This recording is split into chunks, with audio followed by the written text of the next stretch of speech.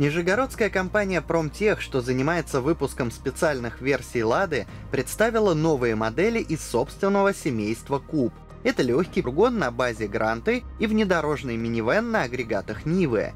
Что касается коммерческой гранты, то автомобиль получил удлиненную колесную базу, обзавелся задней рессорной подвеской, а за двухместной кабиной появилась грузовая надстройка из стальных труб и композитных панелей.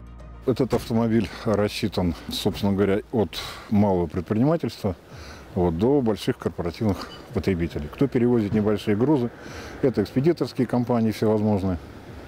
Вот, плюс это автомобиль Э, на самом деле имеет целую линейку исполнений, то есть от медицинского исполнения, от автомобилей медслужбы, автомобилей скорой помощи, до различных лабораторий и так далее, где нужен ну, недорогой автомобиль с достаточно таким широким функционалом. Первый экземпляр грузовичка оснащен стандартным вазовским восьмиклапанником отдачей 90 сил, Однако, понимая, что коммерческой технике нужны более солидные показатели, в Нижнем Новгороде рассматривают вариант форсировки мотора.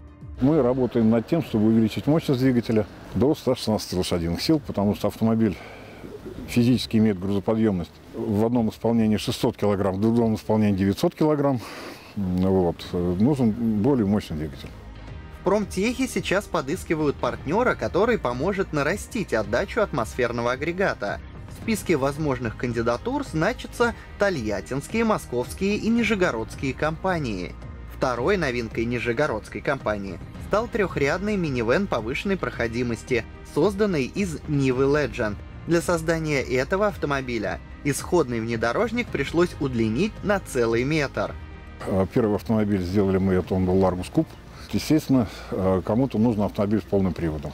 Это нормально в нашей стране. Был создан автомобиль. Чуть не сказал придуман. Сначала придуман, потом создан. Нива Куб.